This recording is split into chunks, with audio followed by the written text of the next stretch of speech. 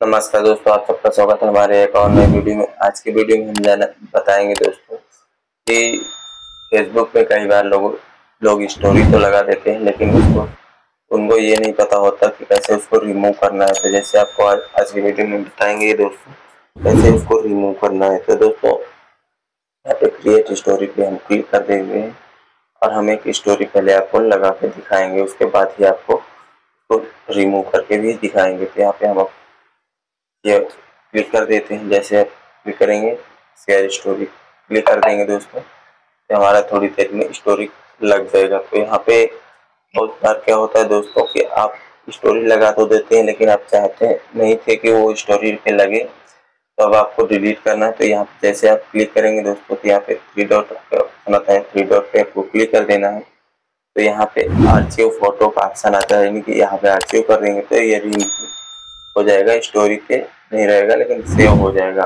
तो अगर आप चाहते हैं कि इसको हमको स्टोरी लगी रह देना है, और आप चाहते हैं कि सिर्फ़ वो लोग देखें जो हमारे फ्रेंड हैं, या केवल हम ही देखें तो यहाँ पे प्राइवेट वाले ऑप्शन पे भी कर देना। एडिट स्टोरी प्राइवेसी पे क्लिक करेंगे।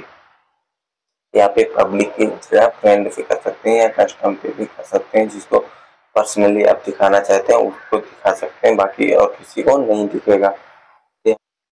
यहाँ पे हम आप जो है, इसको कस्टम कर सकते हैं, ना यहाँ पे अपना फ्रेंड डाल देंगे। जैसे आप जितने फ्रेंड डाल देंगे दोस्तों उतने फ्रेंड के पास हो जाएगा, बाकी किसी के पास नहीं जाएगा। तो अगर आप यहाँ पे फेसबुक फ्रेंड ओनली करेंगे तो यहाँ पे फेसबुक फ्रेंड ओनली कर सकते हैं। यहाँ से आ जाते हैं घर तो उम्मीद करते हैं आप समझ गए होंगे किस तरह से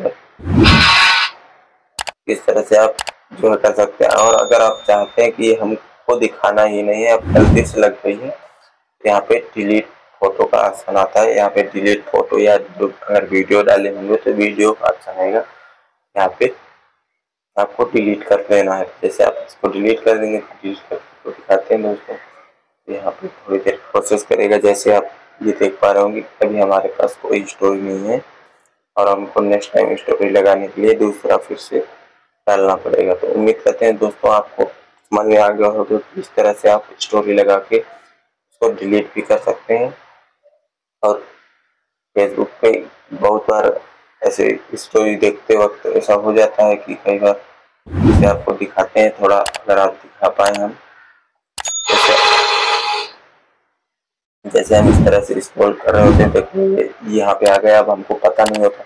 इस तरह से जैसे करते हो जा रहे हैं, देखिए अपने आप से ये वाला टच हो गया और यहाँ पे हम, अगर हमको नहीं मालूम तो यहाँ पे हम डायरेक्ट ये ब्लू वाले पे क्लिक कर देते हैं और यहाँ पे हमारा स्टोरी लग जाता है, फिर भी हमको पता भी नहीं होता तो वहाँ से जाके आप उसको डिलीट कर सकते हैं। अगर आप यहाँ जाते हैं यहाँ पे अपने देखा होगा, ये क्रॉस का निशान दिख रहा है तो यहाँ पे क्रॉस वाले निशान पे क्लिक करके यहाँ पे डिस्चार्ज कार्ड चेंज पर कर देना है, जैसे आप यहाँ आएँगे तो आपको ये टाइप के तो उम्मीद करते हैं दोस्तों, आप समझ गए हो कि इस तरह की स्टोरी गलती से लग जाती है और उनको सुधारने के लिए आप क्या कर सकते हैं। तो नमस्कार दोस्तों, आज की वीडियो में बस इतना ही। मिलते अगली वीडियो जय हिंद, वंदे मातरम।